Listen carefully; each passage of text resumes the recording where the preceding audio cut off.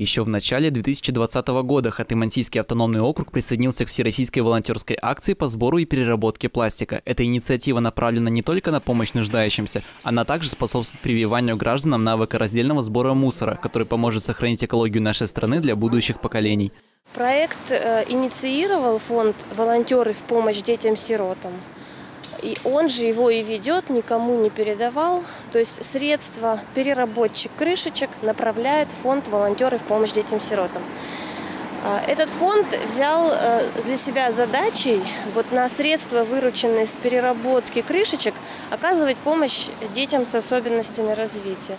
В этой волонтерской программе участвуют большинство субъектов Российской Федерации, а пункты сбора крышек устанавливают в школах, детских садах и даже в частных предприятиях. В Нефтеюганске, например, сбору пластика для переработки помогает градообразующее предприятие. Установили контейнеры для сбора крышечек в наших офисах. И надо сказать, что очень активно наши сотрудники сразу подключились к этой акции, собирают семьями, несут мешками, соревнуются друг с другом. Как любой экологический проект, э, он нужен нашей планете, нашей Земле. Разумное потребление, раздельный сбор мусора. Хотя бы крышечками мы уже приучаем наших граждан, наших сотрудников.